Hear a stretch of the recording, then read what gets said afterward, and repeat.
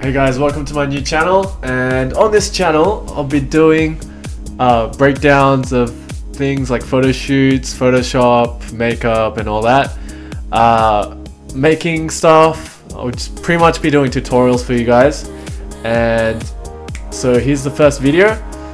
Hope you enjoy it and let's get into it. Yeah!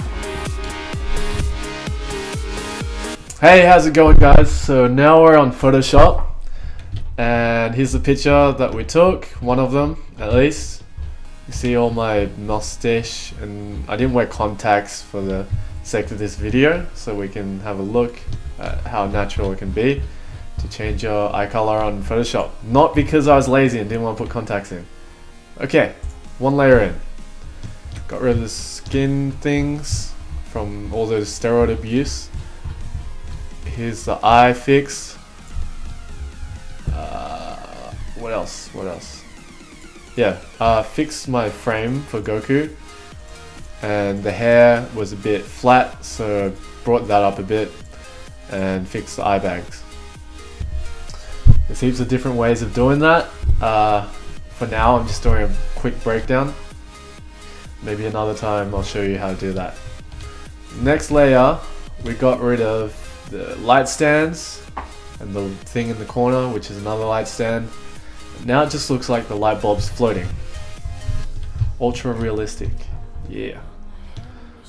Next one, we made the light more luminescent, more bright, and got this cool little effect going with the hands. Yep. Next layer, filled up that gap where the light bulb ended and now it looks like a ball. So we're making it look a bit more realistic now, looks good. Next one, put a few rays in there, just like the anime has and how a lot of art people draw it. So with this, to make it natural, you've got to erase it a bit, uh, blur it a bit. You can see some blurs there with the luminescence. And this was just done with the paint tool. You just gotta play with the opacity a bit. Next one, nothing. So I have layers with nothing in it, because that's how I roll. Next one, we put a lens flare in the Kamehameha to make it a bit more bright, just to blind you. And then the next one after that is nothing again. And after that, I exaggerate the lighting a bit, the lighting, the detail, because if if there's a light source right there, you're gonna have a lot of light bouncing off of it and reflecting the light. And to make it look more realistic, you've got to exaggerate it a lot.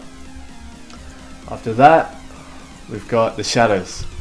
So with great light comes great shadows.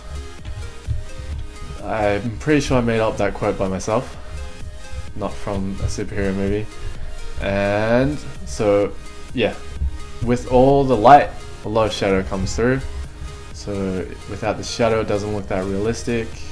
Yeah. Next is really important. You gotta play around with these buttons here. You can play with the contrast and brightness, which is this one here. After that, I played with the exposure. So there's no set way of doing it properly, you just gotta do what feels right. Just get the feel, you know? Just checking the, the recording.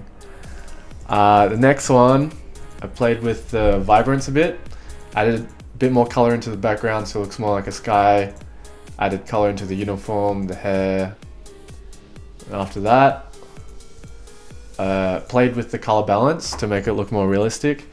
So with a lot of cosplayers, when they edit their photos, they don't play with this, and your picture ends up a lot uh, purple or whatever, however the picture was taken. And with all the edits, you've got to make sure it's all balanced out in the end before you upload it, I guess. And the next one, I, I don't know what I did there. I lightened it, yep. Then after that, I lined just my face. And there you have the picture. So if you like videos like this, um, subscribe to the channel and I'll be doing more thorough, not thorough, I don't know, more detailed breakdowns of things later on, not just Photoshop, but uh, photo shoots and all that as well. So yeah, if you're into that kind of thing, stick around, and I'll see you next time. Bye.